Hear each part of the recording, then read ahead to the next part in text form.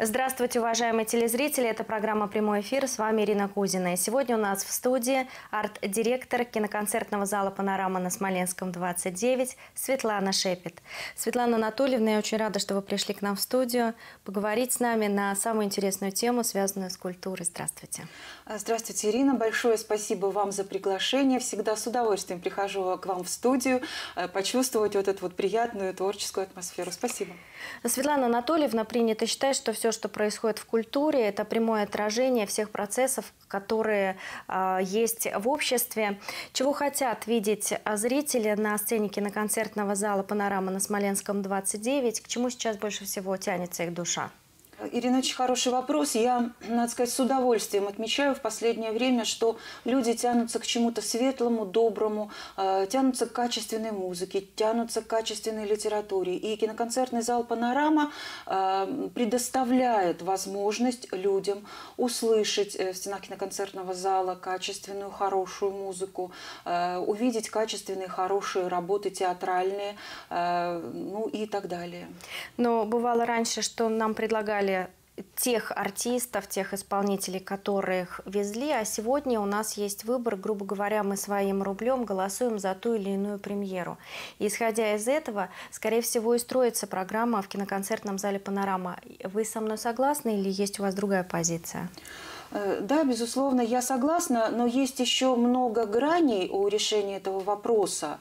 Э, есть э, все-таки отношение зрителя, нашего зрителя, который уже, надо сказать, сформировался у киноконцертного зала «Панорама». Мы постоянно проводим ну, так называемое тестирование, разговариваем, общаемся с нашим зрителем а для того, чтобы понять и услышать, э, что он хочет видеть и кого он хочет слышать на нашей сцене.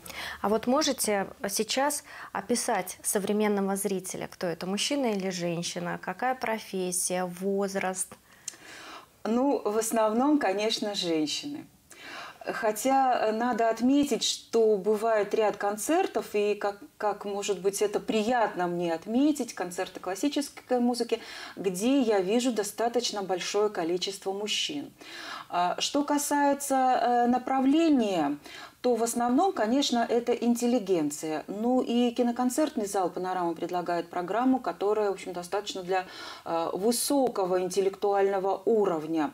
Э, и я с удовольствием, опять же, отмечаю, что таких зрителей в Твери и слушателей, ценителей много и очень много. Но в основном, конечно, мы понимаем, что ходят женщины э, среднего возраста. Это самый любимый наш зритель, самый благодарный, не только наш, я хочу сказать, и э, вообще в России, и в Европе, и э, далеко за пределами, так сказать, перечисленных субъектов.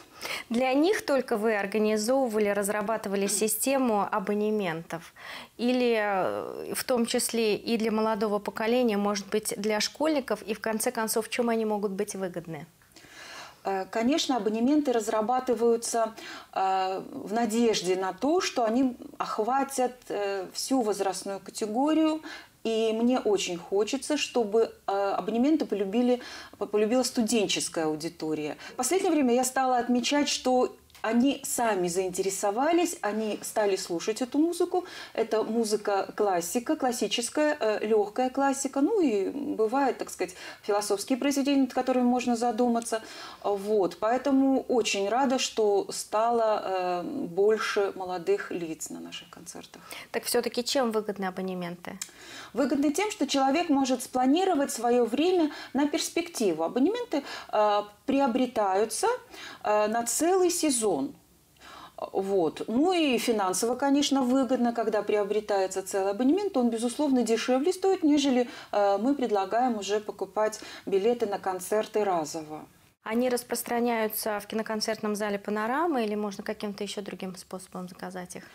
Абонементы, как правило, когда открывается продажа, а открывается продажа она э, в апреле месяце, вот уже апрель, мне кажется. На носу не время за... быстро бежит, правда? Да, не сгораем, поэтому, пользуясь случаем, э, посещайте сайт panoramdefestival.ru и следите за э, открытием нового концертного сезона и за возможностью приобрести новые абонементы на новый концертный сезон. Светлана Анатольевна, все-таки я считаю, что самая сложная аудитория – это детская. Их сегодня сложно чем-либо удивить удивить. И в этой связи хочется задать вопрос, э, чем можно их заинтересовать, какие попытки делаете для того, чтобы их привести в киноконцертный зал «Панорама» и э, показать лучшие произведения, какие только есть современности. Это тоже абонементы. И вот первый абонемент, который у нас был, его делал Московский камерный оркестр, Московская камерата. Называлась эта программа «Кругосветное путешествие с оркестром». Мы, конечно, с преподавателями э, с большой настороженностью думали, как воспримут эту программу дети, и восприняли, надо сказать, по-разному.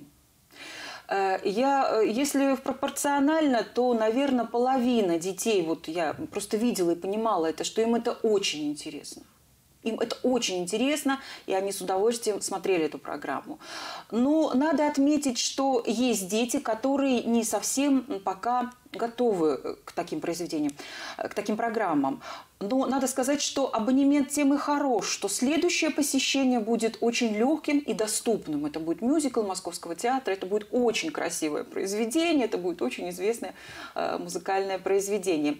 Вот. Поэтому методы и приемы мы используем совершенно разные для того, чтобы привлечь молодое поколение, юное поколение, я бы так сказала, и уже воспитывать его на, хорошем, э, на хорошей музыке, на хороших произведениях. Вот что касается материала, исполнителей, звезд. А, известно, что в концертный зал «Панорама» на Смоленском 29 приезжают российские звезды, которые покоряют и мировую сцену, то есть для нас уже это как вроде бы привычка, да, но в прошлом году вы говорили о том, что необходимо продвигать звезд тверских, а, а это более сложный процесс, требующий немало времени и усилий. Вот что в этом направлении удалось сделать? Ну, надо сказать, достаточно большую часть концертов э, проводим с участием э, тверских юных звезд и участников проекта «Голос» в частности. Вот, э, да, я хочу сказать, что 2019 год, унося с собой целое десятилетие, безусловно, подвел определенную э, черту в работе киноконцертного зала «Панорама». Э, было много интересных открытий, ведь у нас в зале не только классическая музыка, у нас были интересные открытия, что касается вот в направлении рок-н-ролла. У нас был Денис Мужиков, то есть это, это рок-н-ролльщик мирового уровня. У нас была Алена Свиридова, очень интересная, безумно интересная творческая программа.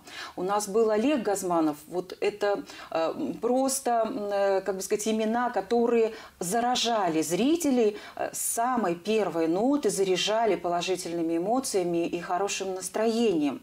Много было очень интересного даже уже вот за эту коротенькую часть сезона 19-20 год. Вот.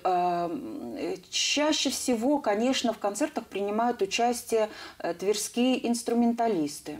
Очень успешно это делают, очень успешно. Ну и вокалисты, тоже участники проекта «Голос» московского проекта, э, выступают с оркестрами, которые приезжают из Москвы, и достаточно успешно, и очень тепло всегда своих э, тверичей принимает публика, особенно детей. А, мне повезло, я была на двух концертах, а, видела Алену Свиридову и, конечно, была в восторге от выступления Олега Газманова. Если я раньше не была как бы вот в числе поклонниц, то теперь этот а, певец занял в моем сердце свое место, и мне, если бы хотелось бы, то только пойти именно на такого уровня концерты. Вот в ближайшее время каких звезд зовете, кого можно будет увидеть? Э, работа ведется в разном направлении, и в классическом, и в эстрадном, и в рок-музыке.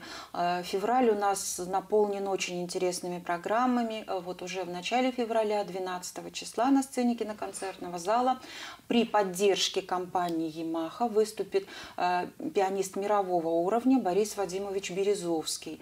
Мы понимаем, что это глыба, это музыкант высочайшего уровня профессионального, культурного, это безумно интересный человек, и поэтому э, вот удивительно, Ирин, э, мы его не видим, он не мелькает на экранах телевидения, он не ведет свою страничку в Фейсбуке, но как только появляется афиша, на концертном зале, что будет концерт Березовского, э, то спрос э, просто колоссальный. Колоссальный, да, колоссальный.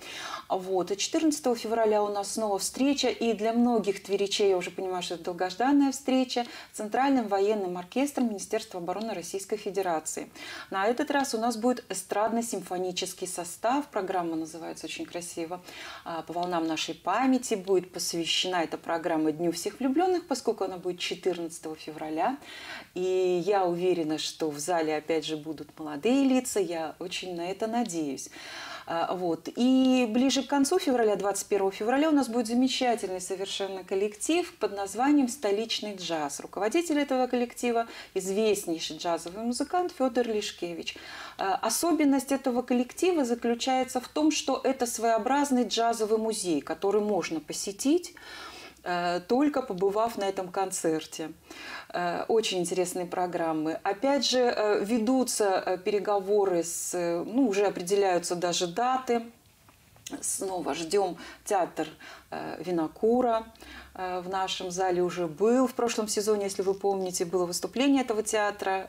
Женщины были в восторге. Да, да, действительно. Аудитория женская, это точно его аудитория талантливейший коллектив и, и молодые э, солисты этого театра, безусловно, очень талантливые пародисты, э, достойны все внимания, все, вот каждый солист прямо.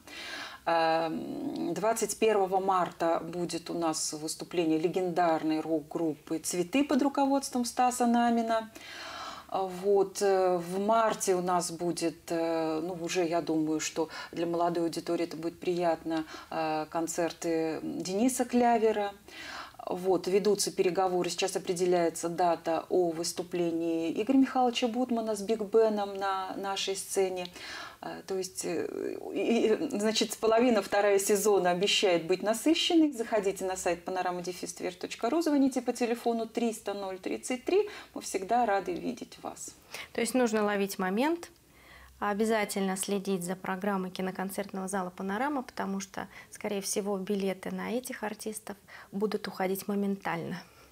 Ну, я думаю, что когда-нибудь мы к этому придем, потому что вот э, пригласила Дениса Мужукова, это вот известнейший в мире э, рок-н-ролльщик, я потому что как не приду в Дом музыки, вот две недели, три недели остается до концерта, а на афише уже стоит печать, билетов нет. То есть мы, да, это, это уровень высочайший, и надо сказать, что у нас-то билеты от 300 рублей стоимость, и на Дениса в том числе. И на Березовского в том числе. Ну, это приятный бонус. рублей. Да, ну и на всех, и на Винокура тоже, и по 400, и по 500. Правда, они быстро заканчиваются, поэтому если вот кто-то следит за такой ценовой политикой, почаще заходите на наш сайт. Светлана Анатольевна, спасибо, что вы пришли к нам в студию, ответили на все вопросы. Впереди будет много праздников, и поэтому билеты на все эти представления, программы концертные будут приятным сюрпризом. И 14 февраля отметим вместе с киноконцертом концертным залом «Панорамы» и остальные, и мужской праздник, и женский. Спасибо вам большое, что пришли к нам в студию. Спасибо еще раз, Ирина, за приглашение. Это была программа «Прямой эфир». Всего доброго и до новых встреч.